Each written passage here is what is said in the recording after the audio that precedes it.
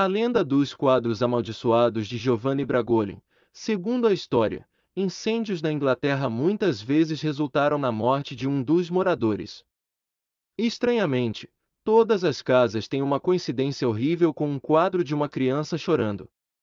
Após o incêndio, esta pintura permaneceu intacta mesmo no ambiente mais danificado. A lenda da pintura das crianças chorosas originou-se na Inglaterra, onde o pintor italiano Giovanni Bragolin, responsável pela pintura, teria ficado preso na pobreza.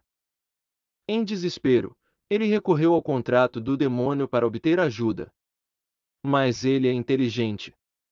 Ele não oferece sua alma, mas a alma de quem compra seus quadros. Na noite do contrato macabro, Giovanni teve um sonho com 28 crianças que foram torturadas e sacrificadas em algum tipo de ritual, chorando e implorando por misericórdia. No dia seguinte, ele pegou tinta e tela, começou a fazer pinturas e as vendeu.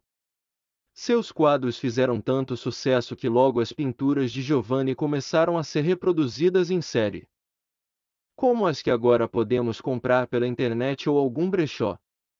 Assim que as pinturas foram trazidas para casa, segundo o relatório, coisas ruins começaram a acontecer. As pessoas perderam seus empregos e ficaram doentes. Os incêndios começavam quando as pinturas já estavam em algumas casas.